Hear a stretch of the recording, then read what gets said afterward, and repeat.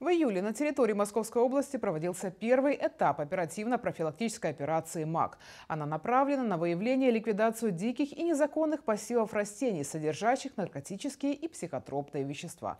В Ленинском округе полицейские уничтожили около 200 кустов дикорастущей конопли. Сотрудниками Ленинского ОМВД России совместно с Управлением по территориальной безопасности ГО и ЧС администрации округа был обнаружен участок с дикорастущими кустами, по внешним признакам похожими на каннабис. Растения занимали площадь в 1 гектар. После исследования изъятых образцов полицейские получили подтверждение, что это конопля. В скашивании травы полицейским оказала помощь одна из управляющих компаний.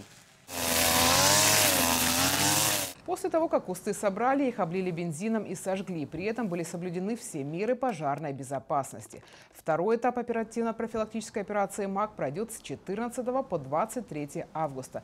Если вы обладаете какой-либо информацией о незаконном обороте, посеве или произрастании наркотических средств, сообщите об этом по телефонам дежурной части 8 495 549 0500 и 8 495 541 57 22.